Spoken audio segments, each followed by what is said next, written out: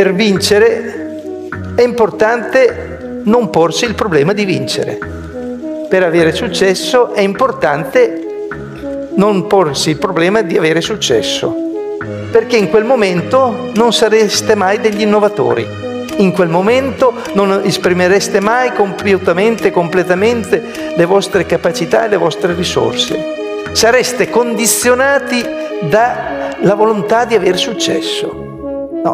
Il vostro obiettivo è far bene le cose, avere questa cultura del perfezionismo, farle al massimo delle vostre capacità.